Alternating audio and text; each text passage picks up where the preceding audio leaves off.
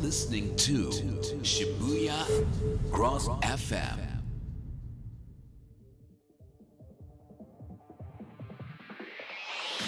いつもアゲアゲケツカツんだよクレイジーハイテンションなパーソナリティがラッキーライキークラッキーダンスダンスダンなんと今日お送りするそういえばありがとう平成略してシブ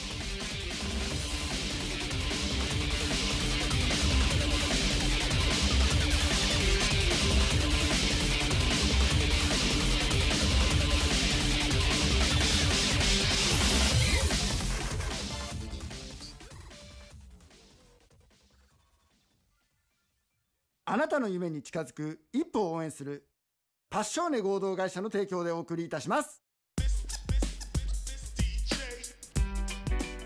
こんばんは。各週日曜日18時から1時間の生放送素敵なゲストをお迎えしてお送りするエンタメ番組です。略してしべらじ。この番組は渋谷シダックスカルチャービレッジ1階にありますサテライトスタジオよりお届けしておりますまたまたまたまたまた私の彼氏が来たのねあなたのメンヘラ彼女二代目謎仮面龍角女でございます。はい。歌って踊るラキバ系電ファダでした。つながり屋でございますはい。爽やか系エンターテイナーランマルでございます。の3名でお送りいたします。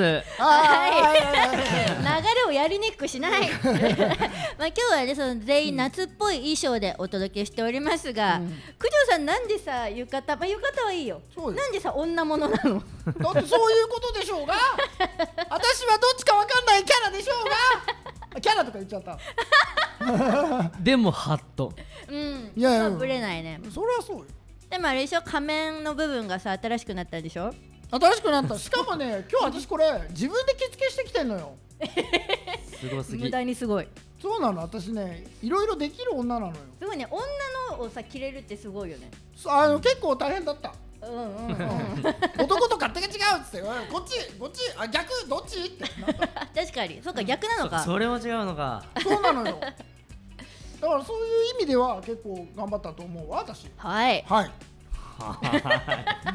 ごめん雑なふりになっちゃった。それでは個人コーナーです。僕のコーナーです。ワンスインライフチャレンジ。やこのコーナーは人生に1回はあるよねってことを僕が発表して2人にあるよねって言われてもらおうというコーナーです、はい。ごめん今日ラマルくんチャラいね。あだからまあまあまあまあまあそういうことよね。なんかひ避暑地で詐欺とかやってそうよね。うん。まあちょっと。真珠が取れますよ。壺とか売っちゃうから。そうそう。さあ行きましょう、これ結構あるかなアラームより早く起きるとなんか損した気分になる。わかる。これはわかるぞ。まずアラームより先に起きることがない。えリア実は結構ああ俺もやる体験ないの。なんなら10回ぐらいになっても気がつかないから。る起きよ普段あまあ結構アラームで起きることが多いから、アラームより先起きるとうわあと5分寝れたやん。っううん。あてなる、うん。うん。うんそんな充実した睡眠をとることがないのよ私。ない。ダメだった。睡ね眠系はね私人と全然違うから無理よ。これ唯一今日のやつで唯一いけると思った。2つはもういけないと睡思った。眠は無理よもう。くっそじゃあじゃあちょっとね。はい。帰りが遅いのに次の日早いと寝るかどうか迷うけど結局寝ちゃうん。えちょっと待って。え？帰りが？う帰りが例えば1時夜中の1時に家帰ってきます、うんうん次5時起きです、うん。寝ます？うーん。迷う。2時間確保できるなら寝る。あーなるほど、うん。でもお風呂入んなきゃいけない、うん。ご飯食べたい。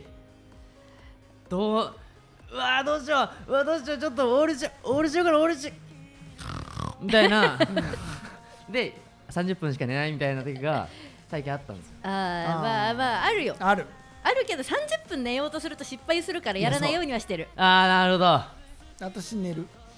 あ 寝る。ちょっとでも寝る派だね。ちょっとでも寝ある。ええー、これはね共感が得られないと思ってね、自分で。うんうん。横になってるだけでも体は休まるはずと信じて意識は落ちなくても横になってる。かる、俺もそのタイプで寝ちゃう、でちょっと遅れるっていう、ちなみに今日7時間ぐらい寝れなくてずっとこうやって。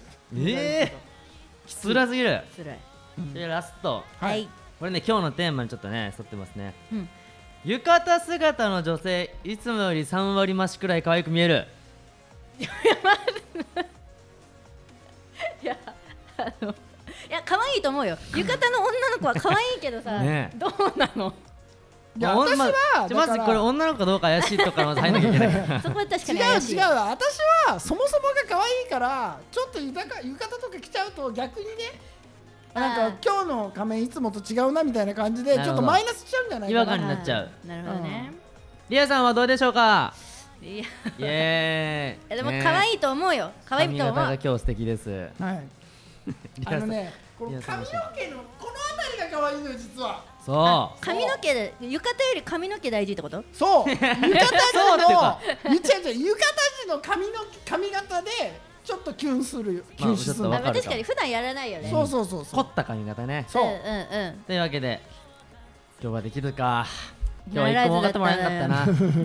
でもちょっと僕の意見をねちょっと伝えられていくわけで。はい。残念で。だ残念な回ね。それでは僕のコーナー終わりです。このコーナーは、えー、と募集も行っておりますのでぜひメールアドレスしびあり .radio gmail.com までぜひぜひお願いします。それでは僕の曲です。レッドムーンナイトです。どうぞ。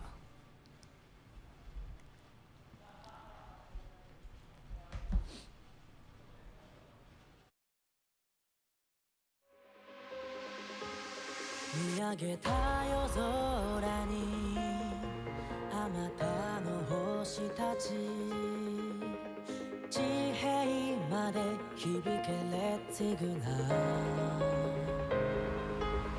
二人で交わした。素肌抱くほど危うさに胸が燃えてた。疑いさえしないで。れ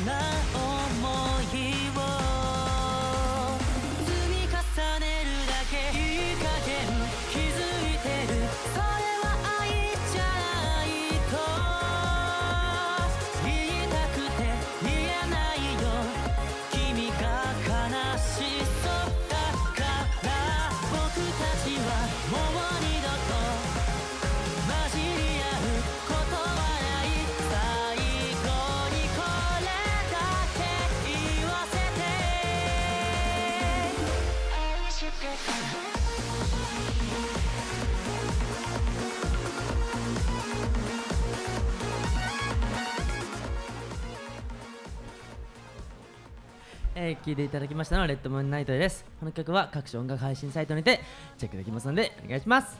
ほい続きましてつながり屋のコーナーです。大人のあるある五七やっはー！五 こちらのコーナーは深夜のテンションでうっかり思いついてしまった大人のあるあるをリスナーのみんなから「あ」から順番に募集をしてベスト・オブ・大人で賞の作品を決めていくコーナーです。今回のお題は「義」ですそれでは早速ご紹介していきましょう。ラジオネームハムスター侍さんの五七五。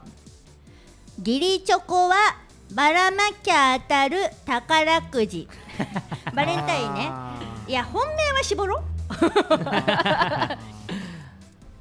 えそんな感じですか？ギリギリチョコ丸は、うんあると思う。ギリチョコか。もらったことはないな。僕本命しかない。おうチャラいチャラいチャラい今日チャラいチャラいチャラい。チャラいどうなってんの？じゃあもう一個いこうかな、はい。もう一個。ギネス本いつかは乗るぞ渋ラジだうん。何で？この番組何でギネス目指してんの？挑戦コーナーできるかもしれない。私じゃないかしら。取りそう。何ができるか分かりませんけど、うん。じゃあいつかいつかじゃあ目指しましょうね。そうね。次8月に入ると一気に夏休みが終わる気がするんだ。だから8月の夏休みはなんだか切ない。楽しさとともにこの日々にいつか終わりが来るという真実がつきまとう。そうだから7月の夏休み僕らは無敵だったんだ。どうも新橋のドエストランジスタです。長いわよ。長いのよそこは。急に何？だからこれさ元ネタがあるのかと思ってめっちゃ調べちゃったんだけどさ。あこれ僕らの七日間戦争とかそういうやつよ。あいやそうなの？多分。あるんだ元ネタ。あると思う。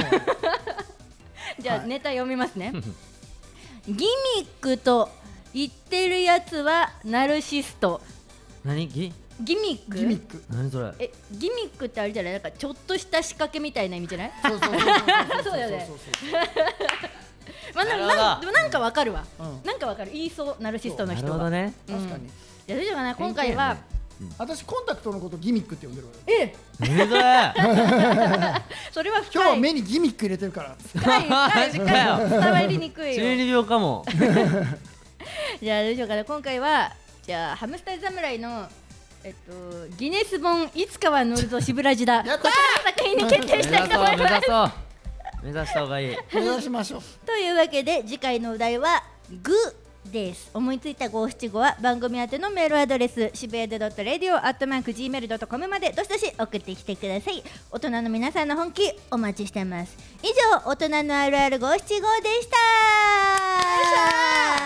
それではここで一曲お聴きください。つながり屋でガッタ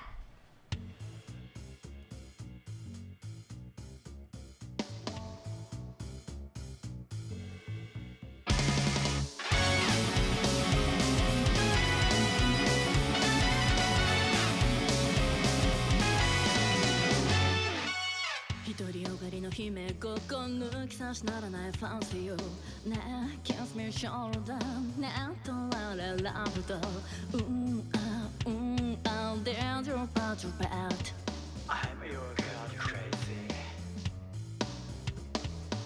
生意気な君の飼い猫の粉チョコバナナちょうだいいい子にするから首はかけていいから真夏のジャングル連れてって。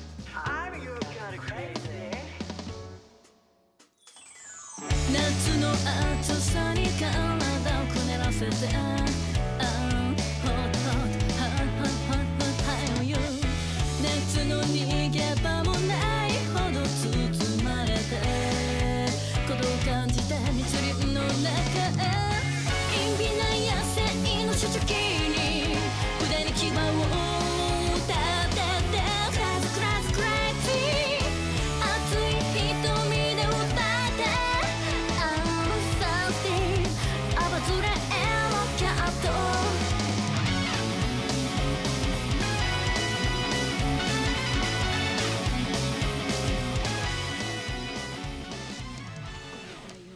つながり屋でガッタお届けいたしました。こちらは各音楽配信サイトからダウンロードできますのでぜひ聴いてください。はいそれでは私のコーナーです。ふーんなるほど。確かに。素晴らしい。誰得？アニメーゲン。2代目のコーナーよ。キャッハー！はい、えーこのコーナーはアニメの名言を紹介するコーナーです、えー今日はこのアニメからこの一言私の氷はちょっぴりコールド。あなたの悪事を完全ホールド。これは何ですか？ありがとうございます。この空気。はい、えーこのこ、えーこのこの決め台詞はですねタイガーバニーサンライズ制作による日本のテレビアニメ作品2011年4月から9月まで MBS 他で放送された、えー全25話の、えータイバニっていうやつですね。うんうん。あの個性豊かな特殊能力者ネクストがヒーローとして平和を守っている近未来的な街を舞台に、えー落ち目のベテランヒーローワイルドタイガーこと、えー、冠城 T 小鉄と訳ありの生意気なヒーローバーナビー・ブルックス。小鉄でタイガーバーナビーでバーバー、うん、バーニーあのウサギ。うんうんうん。タイガーバニー。ということになっているんですけれども、うん。その中に出てくるブルーローズっていう、えーカリーナ・ライルっていう、えー女の子が喋、えー、喋る決め台詞なんだけど、あのーこのアニメの何がすごいかって放送開始よりも前から、あのー作中におけるヒーローが全員あのスポンサーの援助をえ援助を受けてるのよ。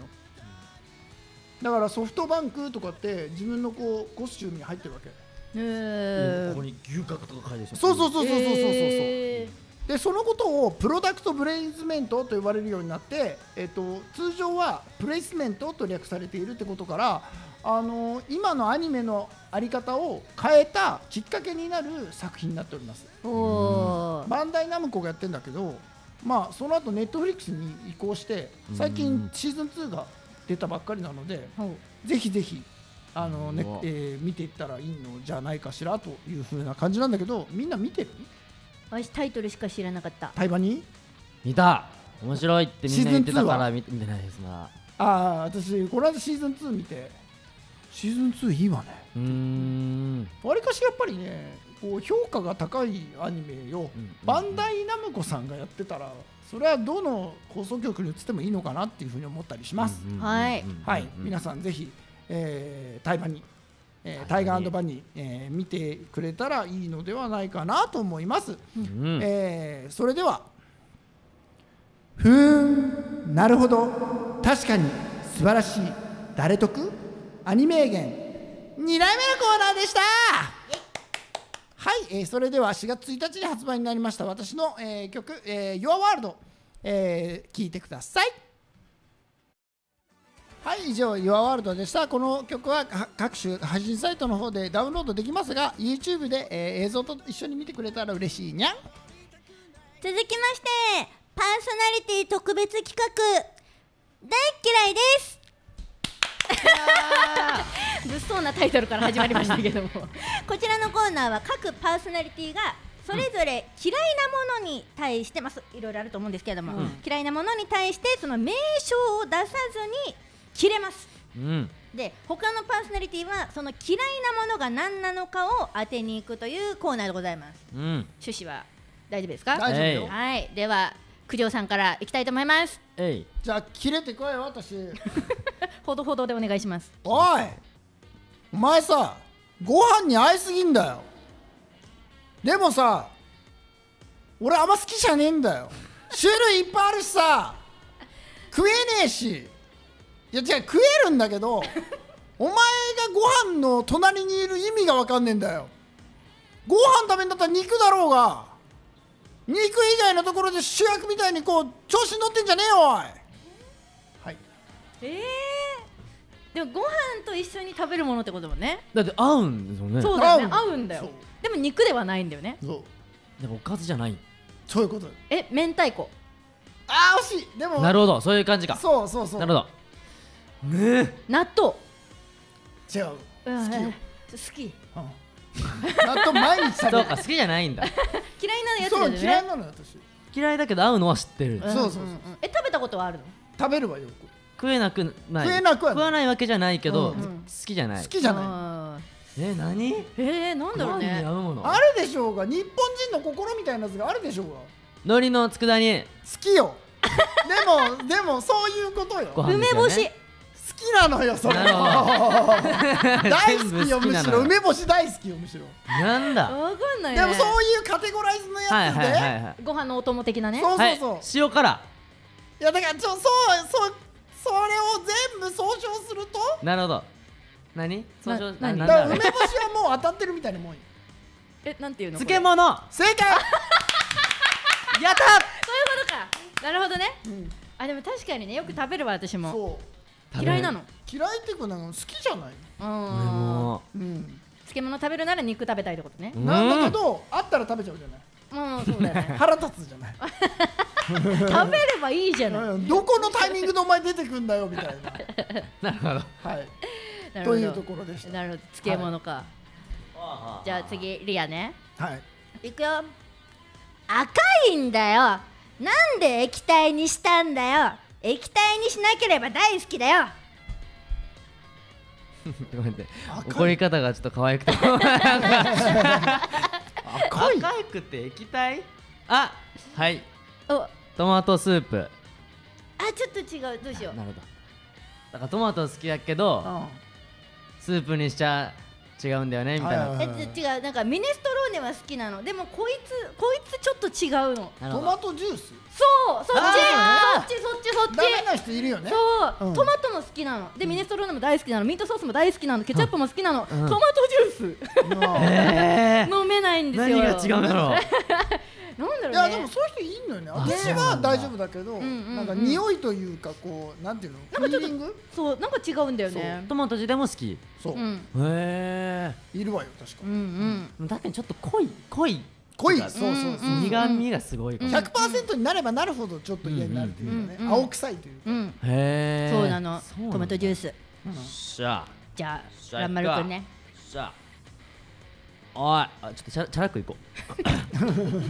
ああのさ お前お前見た目まず見た目が無理ね。なあ見た目がお前無理。でいあのー、お前中身がね良くないよね。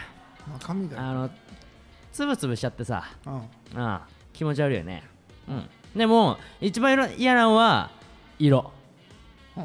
俺の好きな色なのに気持ち悪い何色なの好きな色なの好きなの緑。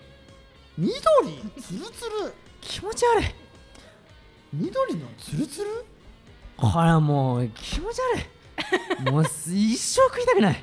食いたくない。でもこれね好きっていう人がいるのよ。いるから、おこれ好きって言ってる人俺もうおこいつやばいなっていつも思う。これ申し訳ないけどねちょっと。意外と果物でメロン違う。違う。果物は僕食えないやつない。うんうんうん。じゃあ果物じゃないね。野菜よ。緑色のもの。ああ緑色の野菜よ。でなんかツルツルしてて気持ち悪いんでしょ？あでさもうこれまあ最大のヒントだけどあのこれ食べないと子供って言ってくるみんな。あーわかった。ピーマン。正解。あーなるほどね。子供だから言うんじゃねえよ。嫌いなもの嫌いなんだよあいつ苦いのよね。確かにね。うん。うちなんかこうあの調理とかするときに、調理実習で、ね、開けたことあるんですよ中身ね、はい。白い種入ってるじゃないですか。あああおいこいつ気持ち悪い確かに種気持ち悪い問題はある。こいつ気持ち悪いってなって余計に嫌なったんですよあねーでも味は好き。い同じシリーズでオクラとかは？あお前好きいんだ。僕ネバネバ好きなのネバネバオクラの種はいいんだ。そう。あれも同じ類のやつじゃんなんかでも苦味とか別にない。ああ甘いわよね。そう。確かに。うんピーマン好き。好き。うん。好き。うわーわかんない。ピーマン食べえでも生ではいけないあーなるほど。うん。生にやあでも生でもいける。あ本当？生ではさすがに苦何でもいわ食べられるのね。ピザ乗ってたらもう省くもんわ。あ ああげるから。いるいる。さあその余ったピーマン私食べる。いける？次は私？行こうかね。分かった。うん。なんかさそういうのってよくないじゃん。学校でそういう風にいつもしてくるけど俺は別にお前のことをそういう風に話したりとかしないけどでもすぐそういう風に言うのってどうかと思うわけよ。先生とか彼女とか。そう。そういう行為っていうのが嫌いなのよ。はい。物事に対して言ってる？ね物事行為だね。そう。むず。っむずっむずい？先生とか彼女とかだから人間だったら誰しも持つそう。感情感情的な？ううん。んなんだ？なんか内緒のことをさ。えー、えー、おしゃべり。おしゃべりの一種なんだけど。陰口。ああそうそうその方向でいくと。闇闇の部分だ。うんうんんそうそうそうそまあみんなが嫌う感じのそれってうことだね。そうそうそうそうそうそう。そう私はちなみに一回もやったことがない。嘘つき。嘘はいいのよ。嘘は好きよ。嘘はいいのよ。だって嘘をなんかなんどうでもいい嘘ついてさなんか場を濁してくれる人いるじゃない。うん。可愛いわよあれは。口が軽い言っちゃう。秘密をあー離れる。暴露。暴露あーまあそう暴露することを一般的に？何や？何？ひそやかに口をするなんだ？なんて言うんだろう？はい言います。えー、ちくりあ なるほどね。なるほどなるほど。ちくりだけ許せないのよ。あなるほど。あいつ校舎裏でタバコ吸ってましたよみた いな。なんでお前がそういうこと言う必要あるんだよ。お前が吸わないからか。それとも俺が吸ってるからか。って思うのよ。なるほど。そのこと俺にお前に関係ないやろって。あーでも確かにね嫌なパターンあるわ作りは。あるあるでしょ？あるうんうん。作りはダメなのようん絶対、なるほどね、はい。じゃあそんなところで、皆さんはパーソナリティが何が嫌いかお分かり お分かりになりましたでしょうか？でも意外となんか分かるわみたいなとこあったわ、うん。よかったわ。伝わった、うん、うんそれではじゃああのこだわりというわけで、えーさっきはねあの苦情バージョンが流れましたけど今回は僕のバージョンの「Your World」を聞いてください。どうぞ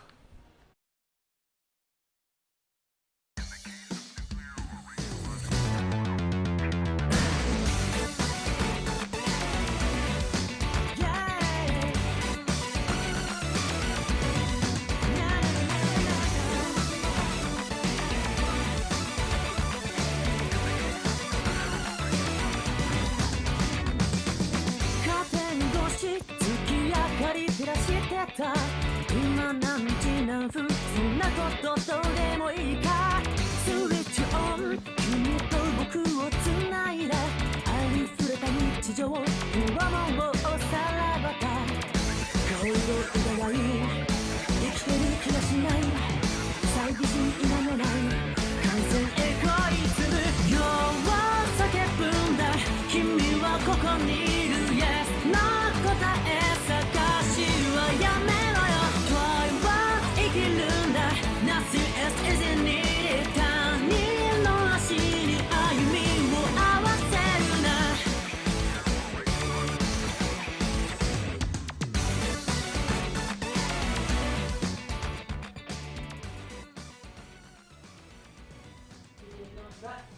Your World」は YouTube にて検索すれば出てきますのでチェックお願いします。はい。さてここからは素敵なゲストさんをお迎えしてお送りしていきたいと思います。第87回目のゲストは小林千里さんです。こんばんは。こんばんは。やだ可愛い子できたわよ。高丸は。はい 私の私の そう。ごめんなさい。ちょっとテンション上げすぎちゃったわ、もうね何回か絡んでんのよ千里ちゃんとは、はい。プロフィールの方を紹介させていただきます、はい。えーまずショールームで毎日配信してる元気っ子で夜更かしっ子でえーっと堀越なんだよね。なるほど。そう。だからもう芸能人になるべくしてなった。女優さんよということでいいかしら、女優さんですよね、うん、そうよ、かっこいい。い雑だったかしら私これ。や いや毎日配信がすごい。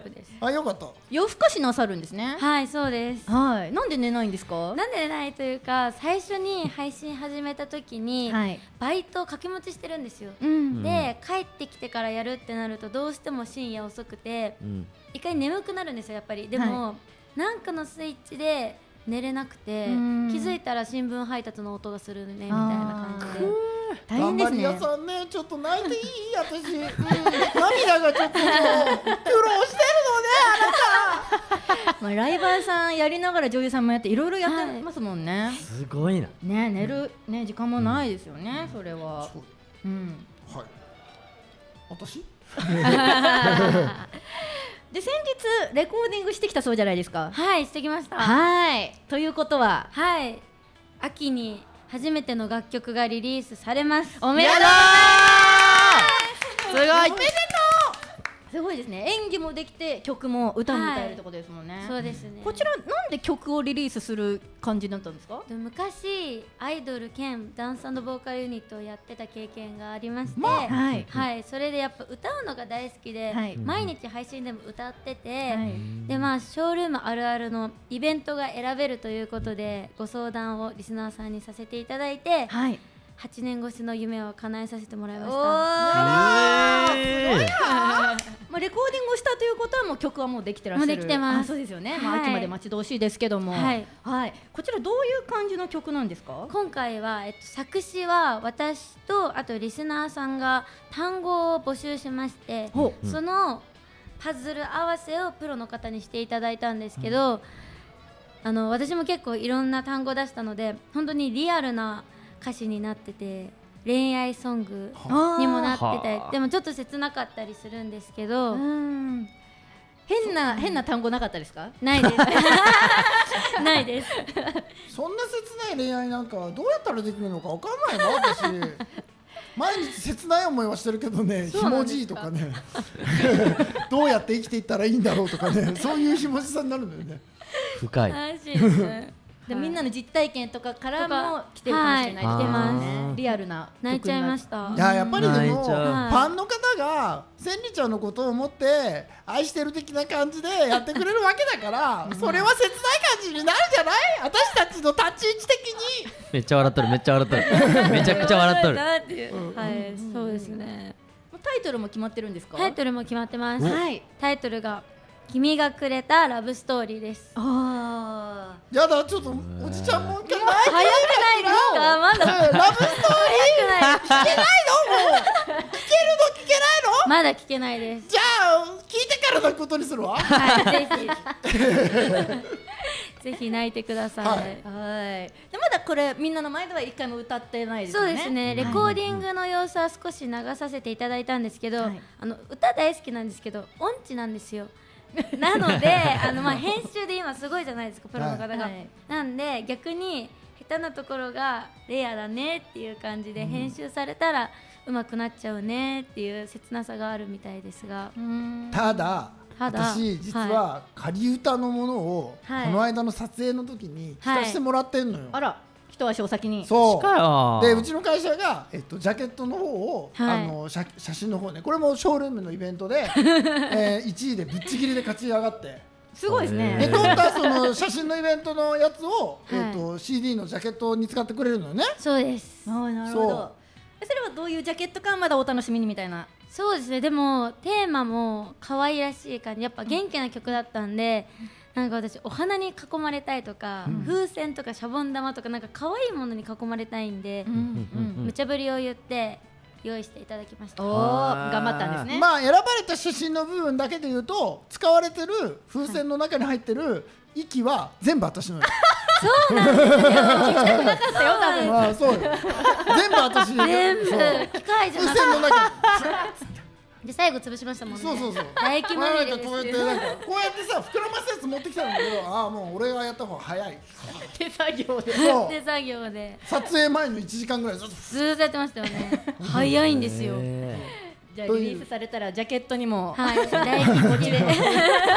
この風船か。でも私の息だから臭いとか言わないのよ。ファンの方。私頑張ったんだからね。ファンの方ファンの方ごめんね。私の息があの風船には入ってるからちょっとメルヘン感が減るけど。曇ってますもんね。息が入ってるんで。そう。曇ってました はいということで はい、まあ曲はそんな感じで秋にリリースなのでお楽しみにということなんですけども、はい横浜美少女図鑑、はいボリューム4にも掲載されたそうですね。はい、ありがとうございます。二ページも。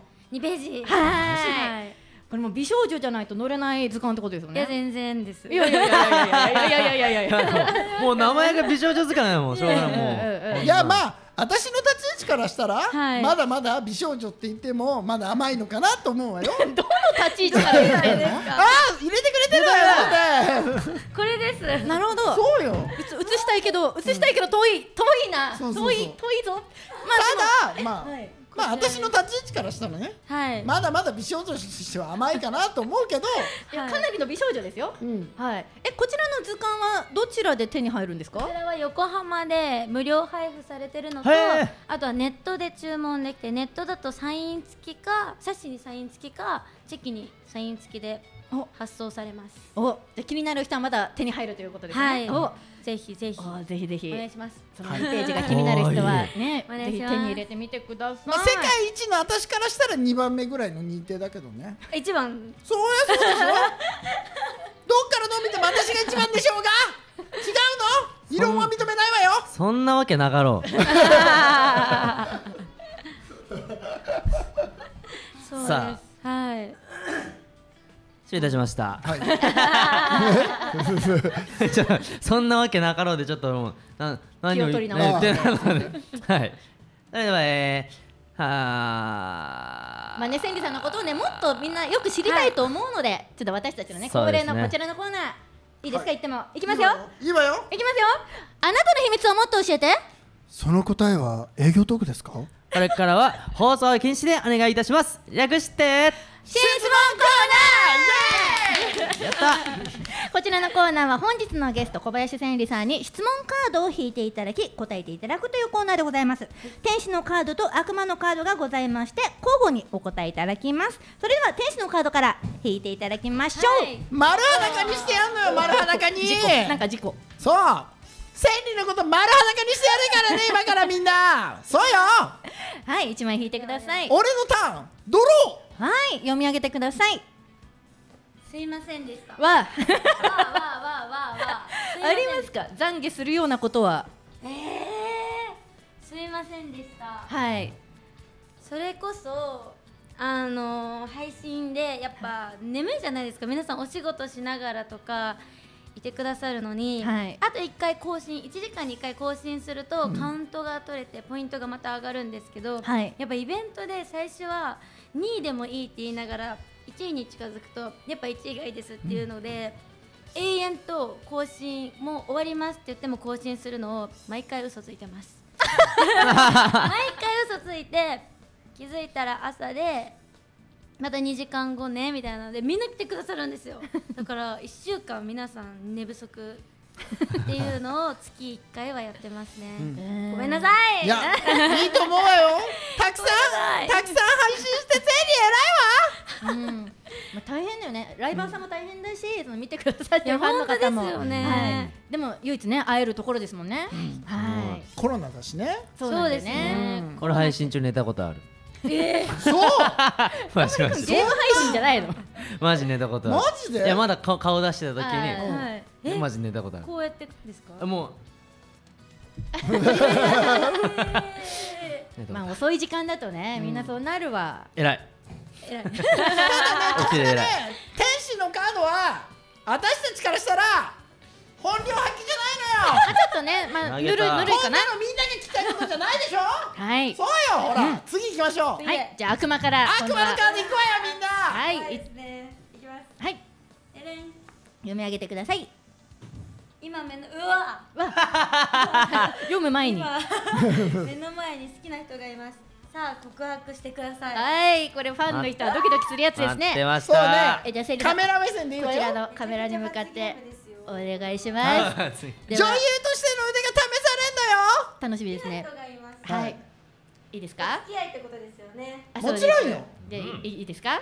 三、二、一。き合って。かわいい何それ。何なのその付き合ってって。ダメですよこれは。何なのその甘いたさんな感じ。程よい緊張が伝わダメってきたよね。よ。ダメですダメです。シブラジでしか見れないやつよこれ。ね、でもなんか永久保存版でしょうが。そうほら。罰ゲームですねこれは。罰ゲームじゃない。リアルな感じでよかったんじゃないですか？罰ゲーム？ですよ。ランちゃんひょっとして天使行こうとしてない？え？天使なんか生ぬるいことはねシブラジでは通用しないのよ。皆さんどっちですか？悪魔から行こうか。他には悪魔しかいませんでした。じゃあすいませんが悪魔からはい。一枚お願いします。千里のターンドロじゃあこちらで。はい。い。きます読み上げてください。何をしても許されるとしたらどんな悪いことをしたいですか？おい。おこーの悪いことしなさそうな人悪いに。ことですか？はい。えー何したいですか？私はこちょこちょが苦手で全身何でしたっけ？あの、うん。ちょっと触れられるだけでもキッてなっちゃうんで、はい。うんうん。まあなんて可愛いの？でもなんかかそういうのって見てて嫌がる人にめっちゃやるじゃないですか、あそれがムカつくんでずーっとやり返したいです。一日中。あー何それ。可愛い。何なのこの感じ。されるされる私も。こちょこちょされる私。ごちょごちょダメなんですよね。ああでもいいますよね苦手な人。本当に無理ですでもちょっと今のはちょっと可愛すぎたんでもう一個言っていいですか？ね そうよ。ダメでしたねこんなの。シブラジじゃないのよ。悪魔よ悪魔。天使が。天使なんか入れてる場合じゃないのよ千人には。はい。でしょうが。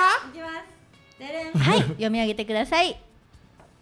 どうしても許せなかった話。多いな。難しいの。許せなかった話、うんうん。はい。許せなかった話はえー、でも。私の撮影とかやめてね。やめて えー、許せなかったのはやっぱあのー神奈川に住んでるんですけど車とか、私すごい好きなんですけど普段は電車はい。で、学校も通ってたりしてその時に私の乗ってる路線はい。がすっごい変な人がいてあのお酒をこぼされましてお。お酒をなんかリュックのポケットにお酒の缶を入れて棚の上に置いた人がいて、うんかぶっちゃってお酒を。え頭からですね頭から。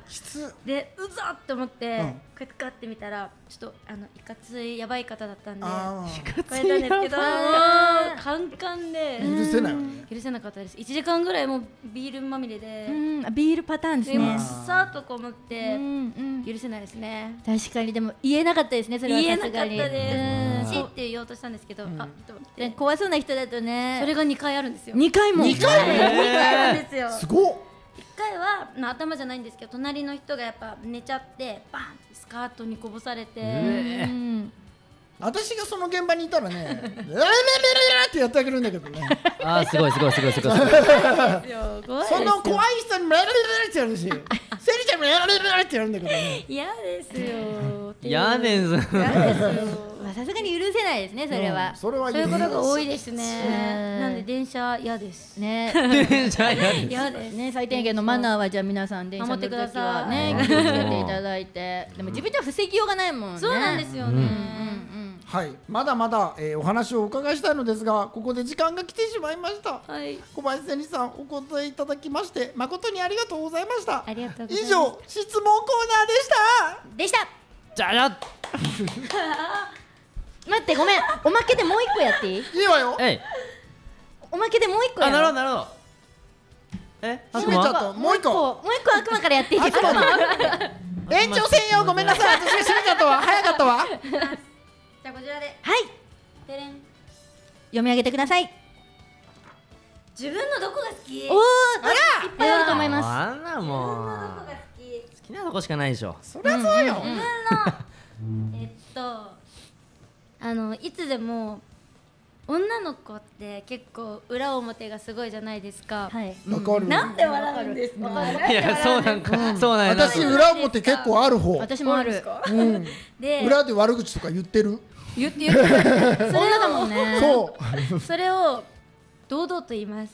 なんかもう嫌なんですよ。ごちゃごちゃごちゃごちゃってするのが、なんで面と向かって誰に対してもガンガン言う性格なのでそういう人間が増えてほしいなって思ってます。ああもう悪魔なのに全然ゃない。ーじゃあご自身のサバサバしてるところがお好きということですね。はい。でもなんかこれ恥ずかしくないですか？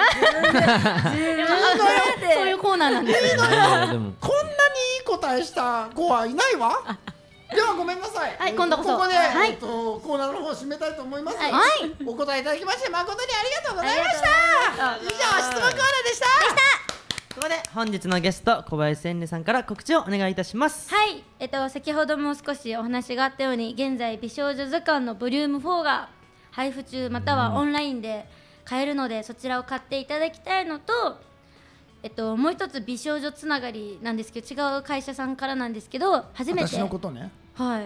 はい。適当です。初めて。えっと美少女甲子園そちらはボリューム5になるんですけど初めて写真集が出ててそちらも4ページほど掲載されてるのでぜひね見ていただきたいなと思ってます。そしてあの TikTok をずっとサボってたんですけど、今回楽曲も TikTok に入れていただけるということなので、はい。これから頑張っていきたいのでフォローお願いします。はい。すごい。皆さんぜひぜひチェックお願いいたします。お願い。します詳細は当番組のアメーバブログにも載せさせていただきます。小林千里さん本日は本当にありがとうございました。ありがとうございました。はい、えーこの番組は、えーリスナーからの質問お悩み、えー番組の感想パーソナリティの応援メッセージなどメールで受け付けております。アドレスは渋谷で .radio.gmail.com です。たくさんのメールお待ちしております。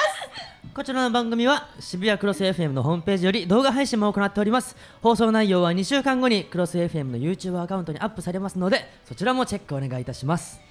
略してしぶらじ次回の放送は8月7日です。パーソナリティは私つながり屋と2代目謎仮面デューク九条でゲストはあかねのお二人です。はい、えーここでパーソナリティから個人の活動についても告知させてください。えー、と私は毎日ショールームで、えー12時からと、えー20時頃から、えー配信やっておりますので千里ちゃんとも有効ルームになっておりますのでぜひぜひ皆さん、えー私のルームに遊びに来てちょうだい。はい。誰って言ってますよ。はありません。なかったわ、はい、で私つながり屋も各 SNS やっておりますツイッター、インスタグラムなどなどやっておりますのでリア 0625RIA0625 で検索していただいて私のお写真などなど情報などなどチェックしてくださいよろしくお願いしますはい、えー最後に、えー、あたいの、えー楽曲「Just the Way You Are」これビリー・ジョエルがやってる曲を、えーカバー私なりにカバーしたという曲でございます、えーこの「Just the Way You Are、えーあなたはあなたのままでいて」っていう意味なんだけれども今日せんりちゃんが可愛かったからあなたはあなたのままでいた方がいいと思うわよ。という「えー、Just the Way You Are」聴きながらお別れになります、えーそれでは、えー次回もお楽しみに。バイバイ。バイバ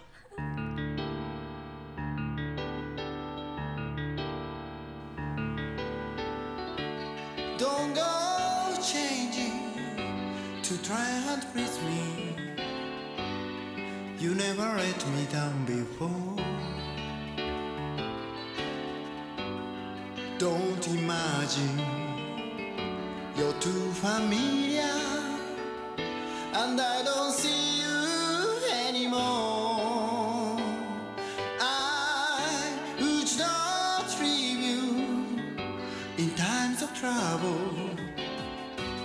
Never could have come this far.